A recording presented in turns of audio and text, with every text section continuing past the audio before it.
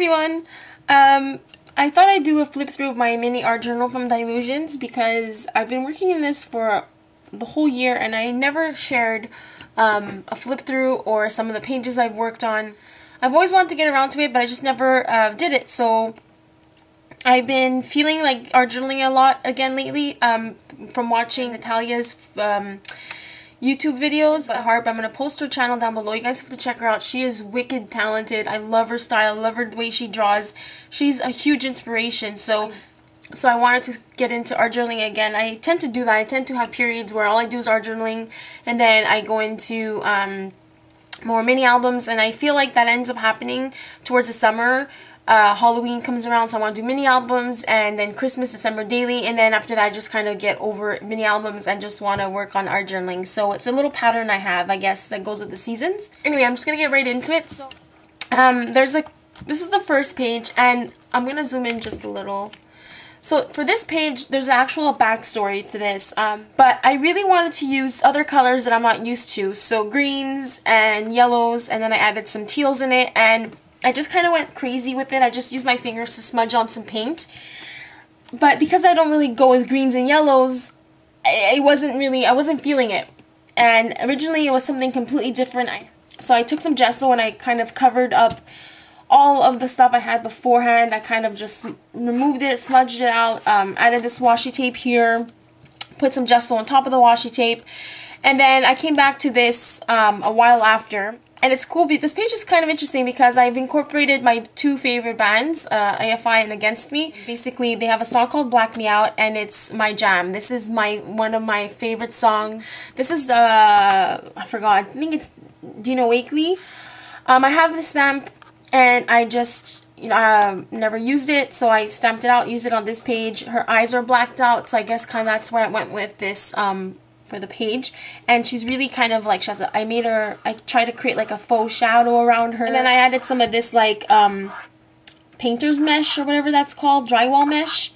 And I added some here and there, and I think that's pretty much it for this page. Um, and then I took a black pen, I wrote Black Me Out in this funky style, nothing, you know, crazy. I outlined that. I outlined the image, I outlined the little border I doodled around it, so it's a pretty simple ish page. Once you break down all the steps, you can see like an journal page is very kind of simple. For this page, um, I don't even remember how I did it. I think what I did was I added a layer of gesso and then smushed it, opened it up, and that's why there's like these wrinkles I don't know if you guys can tell. Let me zoom in. So you guys can see here, there's a couple of wrinkles on the page, and especially when you rub your finger around it, you feel the wrinkles.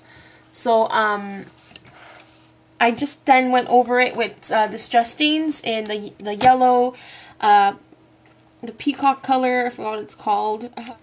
And then over that, I went back with some of the acrylic glazes, the silks, and purple, pinks, and blues from what I can make out. And then I did a, a, simple border and then added some dots on around that. And then I did another border with dots and plus signs all around it also. Um, so that's the border. Pretty much goes all around. And for the background, I think, what else did I do? I added little, um, like, plus signs. I have a book of quotes that I've collected and things that I want to use in, in my art journal. And one of them that is one of my favorites is from Sigmund Freud and it's where does a thought go when it's forgotten? I it's a really good question. It's it's pretty cool. So it makes me think. And so I just wrote that out. I first traced the line and then I kind of went on that line and, and did the the writing because I kind of wanted to look like it was coming out of her open head over here. This is a Octopode Factory. Oh, I forgot her name. I forgot her name, but um, I love it because I've used it before in my larger art journal, but I love it because her brain's open, and I thought that was kind of appropriate with the quote. Colored her in with, with what looks like watercolor pencils, added some washi tape down here just to make her stand on something. And yeah, that's it pretty much. Uh, this page, um, another little backstory to it. I worked on it a while ago. I just made the background and then I took a stencil to it, plus sign stencil over here. Then I took a roller uh, stamp that I got from Glitz, the triangles, and I just added some around the page all over the place. And um, I left it as is. I did some of these triangles. These are some glitter paper, um, glitter black paper. and I just cut them up into triangles and I left it at that. I also added um, little plus signs with polka dot paper and then I just used the bits that I cut out, the little squares, they're garb like the leftovers, I just added that around the page too. So I went back to this page for one of my uh, um, Oddball Art Design Team projects and I colored up this really cute Digi image. I love her. She's so cute in a little cow costume. I wish I can go vegetarian. I really do. But because of my, you know, IBD, I don't think I can. It's a little tricky. Colored her up and that's what I was going with, thinking please don't eat me and that was just my thought process about this page and this is what that page represents to me. That That's this page. This page I made for the um, end of the spending freeze that I had hosted with Jen and Crystal. Um, that was interesting time and an interesting um, period of three months of not buying anything, so that was really cool. I did this page uh, using a stencil and paints, and I don't even remember. I think I used the Dylusion sprays. So um, I colored up these four images from Stampotique. This is Cousin Carmen, this is Minky Girl, this is Moth loved and this is pigtails these are some of my favorite images honestly of Stampotique and um, I just printed out it's a celebration with a font on word cut it out and then added some of this silver tulle to like back it up and I thought that was pretty cool um, I added some washi tape so they can stand on. I love this black and white striped washi tape. It's my favorite thing ever. I always use it pretty much. I try to use it all the time. And then I just doodled a border and it's like kind of wonky so it goes skinnier and you know fatter. I don't even know the proper terms for that but this is the page. For the background I use a flower stencil. That's all I can remember but because of the paint it all smudged. You don't really see the flowers all that much. And also um, because it's Dylusions I don't know I guess I was working on another project and it's um, you know leaked onto the title so there's like uh, the color kind of just like bled through. Which um, obviously I don't like, but I mean at this point I can't do anything about it. Accidents happen.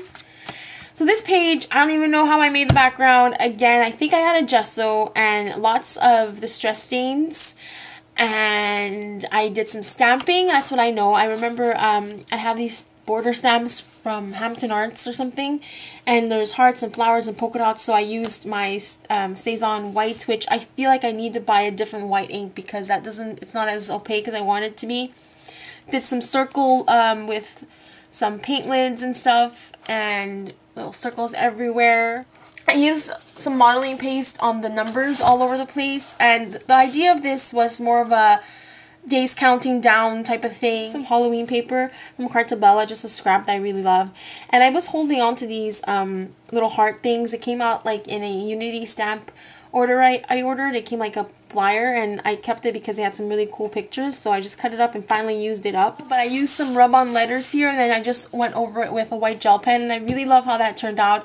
I really want to get into rub-ons and using that a lot more. I think it's a really fun way to add... Um, stuff to your art journaling. I, I really love how this looks. So, um, I originally, again, randomly adding paint on with a paintbrush. And then this little, like, circle thing here. This is actually a face I drew. And like I said, I suck at drawing. There's the eye and the nose. So I decided to just cover it up all together. And that's what I did. This is a cutout from a magazine. I love black and white. So I added that there. Uh, here's just a, a title of an AFI song a lyric from an AFI song. You can tell I was listening to AFI when I made this page. Some washi tape and pretty much it.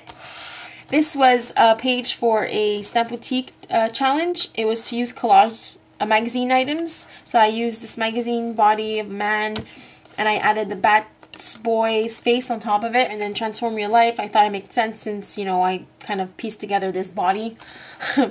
and then the background was made with um, I think Distress Paint.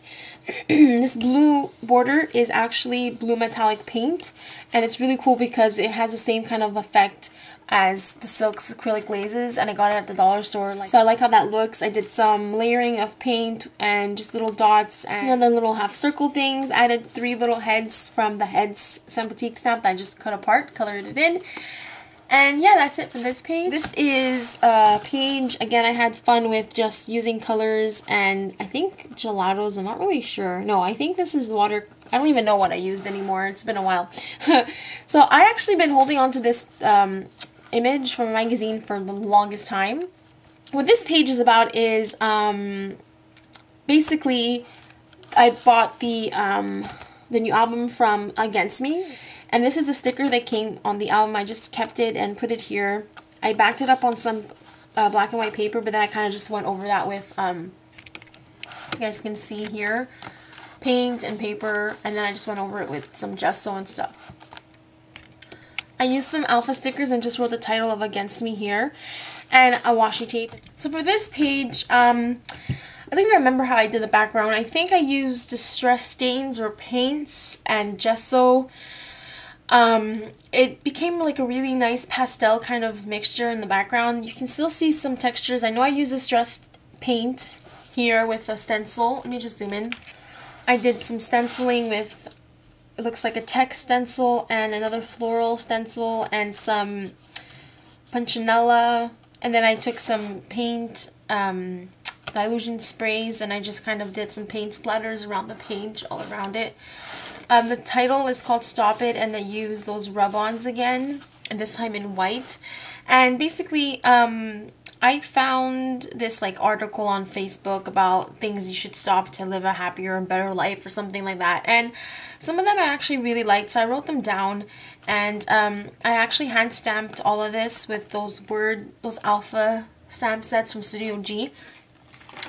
And the numbers are actually another stamp set that I had. So it overall the page kind of looks grungy and I kind of I like how that turned out. Um, this is a Stampotique image that I colored up. This is Girl with Heart Purse. And I did something interesting. I uh, clear embossed the image, and a lot of people have been doing that. I guess it preserves the color or something. I'm not really sure. So I decided to try it out, and I heat embossed it with clear embossing powder. So for this page, I watercolored the background beforehand, and I just used, um, I guess, blues and purples and pinks and, and teals and I just had fun with just making random backgrounds with watercolor um, paint. And then I looks like I did some stamping with a script stamp and like a purple I think I used this color actually. I did some splattering with it looks like a white paint and I also made like some lines with um, a paintbrush and with white gesso. And these hearts are actually um, jelly printings that I made. Uh, I made my faux jelly printer. Um, oh, basically a technique of how to create your faux jelly printing plate. And so these are some of the prints that I made with the plate. And what I did was I just cut them out into heart shapes. And then I did further stamping. The colors, these are actually um, high flow acrylics. So then I took some stamps, I took some birds, some polka dots, some grids, and some the same script stamp, and I stamped inside the hearts just to give it some more texture. Then I cut them out, and um, yes, I just used a black marker to outline the hearts and kind of create a shadow around them. And I decided to leave it blank. I didn't want to put a title. I just I liked how this looked on its own, and I didn't feel like it needed it anything else. So I'm just going to show you guys the hearts. They're really detailed and I really like how this page turned out. So for this one, um, I was lucky enough to be contacted by one of my favorite um, artists. Her name is Lily, and she's the maker of the Octopode Factory digital stamps on Etsy. So thrilled that she contacted me to be a guest designer because that's like one of my dreams. So I was really excited, and it was a summer release, so we had um, you know, like a sailor kind of theme and. Um, that's what I did for this page. I have a video on this actually if you guys want to check it out. And so I love the bottom of the ocean what I did here. It's one of my favorite things ever. so I'm just going to tilt the it around so you guys can see it. But I added a bunch of glitter and it stayed put. So that's awesome. And then I added some of this gold and green um, metallic kind of thread just to make it look more I don't know, like the bottom of the ocean probably has a bunch of stuff there. So I'm just gonna, you guys can pick up on that. There's a lot of detail. And then I added some of that mesh tape and chunky glitter. It looks really pretty and shiny in person. And the last page is this one. Um, it, I made this page, I think, in June, yeah. And I was really feeling like Halloween kick. I really missed Halloween. So basically, um, this page kind of was ruined. It didn't come out as well as I thought it would. I originally put a black and white tissue paper down and then I think um, it got damaged somehow. I'm not really sure, I think. And so basically I had to go over it again, the tissue paper, and I used paint and markers just to kind of like outline the stripes again. And that's why it kind of looks really messy. Um, and this is a picture Beetlejuice, the cartoon version. I actually drew myself and colored him up with my Copics. And I was so proud of this. Um, the eyes are a little like off, but I was so proud of how I colored and how I did the detailing. So what I did was I have this Beetlejuice uh, bag and I took them out and I just kind of copied it by eye. So that's what I did. I had a lot of fun and I just wrote I miss Halloween. And then I actually added these skull stickers recently. I got them from Rhonda and um, she entered my Halloween giveaway and it was really awesome. So uh, she added a couple of goodies and some stickers. I thought it went appropriately with the page. And that's the last one. If you guys want to know more, I have uh, our journal playlist. If you guys want to check it out, I'll put the link down below as well.